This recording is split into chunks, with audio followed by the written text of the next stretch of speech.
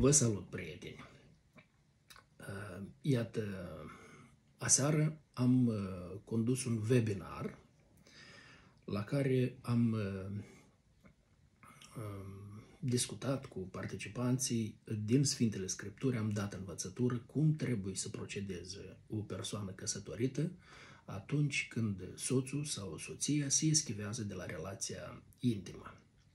A fost un număr frumos de participanți, Partea bună este că fiecare, mm, când a dorit, printr-un mesaj personal a putut să-mi adreseze întrebarea, să-mi spună situația lui și să-l eh, sfătuiesc fără să-i zic numele și să-i dau sfat la situația persoanei, dar în felul ăsta au luat învățătură și alții. Am avut o discuție interesantă, bună și în cele de urmă uh, au ieșit uh, la suprafață o problemă care cam în toate cuplurile era, ceea ce a dus la Ehm, cum răcirea atracției și la dispariția atracției eh, sexuale a fost cel mai mult la femei din pricină că bărbații vorbeau cu ele ehm, rău, înjositor, deci de la comunicare problema s-a tras.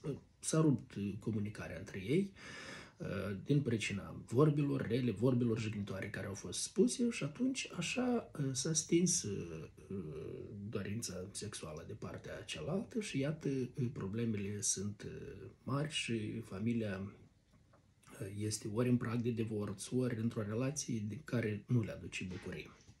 Acum, de dimineață am primit o întrebare. Deci îmi scrie o doamnă care tot exact așa, zice, uh, au trăit cu soțul 30 de ani. Și uh, soțul, zice, îi vorbea cu cuvinte burite, cu cuvinte jignitoare și apăsarea asta care o avea totdeauna din uh, vorbe, din discuții, zice, uh, ea dispărut orice atracție uh, sexuală față de soț și de acum, zice, de 13 ani nu mai, nu mai au viață intimă. În curând a descoperit că soțul are o altă femeie și acum întrebarea doamnei este dacă poate să depună actele la divorț din moment ce el are o altă femeie. Acum, uh, dragă doamnă care m-ați adresat întrebarea, uh, așa spune Scriptura că divorțul este un motiv serios uh, pentru, nu divorțul, adulterul. Adulterul este un motiv și până la urmă unicul motiv pentru, ca, a, pentru divorț sau motiv justificat înaintea lui Dumnezeu pentru divorț. Numai că vreau să vă spun că aveți dumneavoastră o mare parte de vină.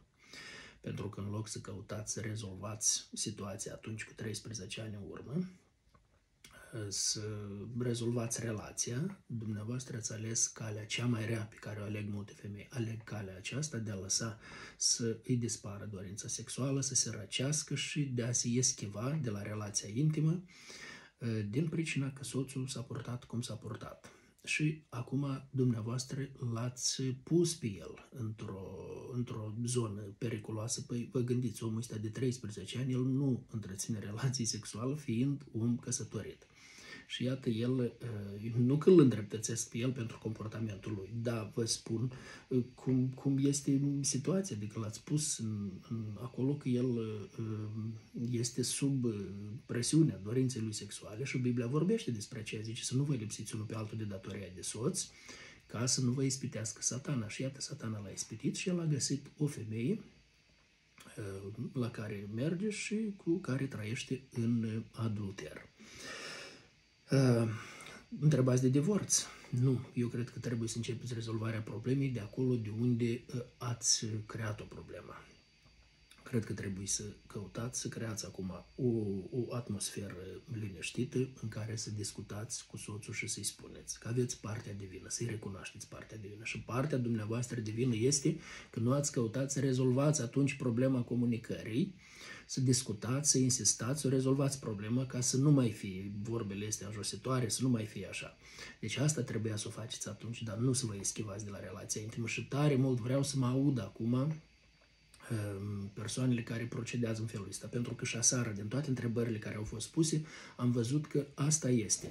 În loc să discute. Deci cam unul din parteneri vorbește urât, vorbește, a, spune cuvinte jignitoare și în felul ăsta îl îndepărtează, îi stinge dorința celuilalt și nu mai vrea celălalt să mai aibă niciun fel de relație. Ei, dar toți au lăsat. Care am văzut au lăsat, au tolerat, n-au căutat să rezolve. Trebuie neapărat să insistați, să găsiți soluții, să rezolvați problema aceasta a comunicării. Pentru că dacă nu lăsați, ea de la sine nu se va rezolva, ea de la sine se va agrava și iată veți ajunge cum s-a ajuns aici. Deci vă dați seama, o căsătorie din care în ultimii 13 ani a lipsit relația intimă, în care stă la baza căsătoriei și care face căsătoria unică și diferită de orice altă mm, relație pe care o are omul în lumea aceasta. De aceea Dumnezeu să vă ajute acum ca să uh, căutați, să discutați cu soțul. Uh, el are partea lui divină și dumneavoastră aveți partea divină pentru că v-ați eschivat de la relația aceasta intimă, să vă cereți iertare pentru partea divină pe care o aveți, să-i spuneți și lui de asemenea care au fost problemele și să-l întrebați dacă el dorește să găsiți o soluție, dacă el dorește să rezolvați problema aceasta, să vorbiți cu el liniștit din moment ce uh, nu vrea, va trebui să mai implicați o altă parte care are autoritate la el. Înțeleg că noi sunteți credincioasă, și, dar el nu este credincios, da? Poate are cineva autoritate la, la el uh, că, pe care eu știu, poate, mama lui, tatăl lui, părinții lui, care el va dori să asculte de, să asculte de ei și să implicați pentru a rezolva uh, problema. Deci depuneți întâi tot efortul ca să rezolvați problema aceasta și dați o șansă pentru restabilirea căsătoriei. Eu mă rog ca omul acesta să vrea să reparați căsătoria și să trăiți împreună, având copii, să vă bucurați de copii, să vă bucurați, uh, dar uh, dacă el tot nu va dori și va insista să rămână în adulterul în care este el, uh, atunci da, nu va rămâne altă șansă. Însă vă zic, faceți acum tot ce ține de dumneavoastră pentru a vă salva căsătoria. Și pe data de 25 iulie la ora 8 seara voi preda un nou webinar în care uh, voi da învățătură din Sfintele Scripturi cum să pui capăt certurilor din familie.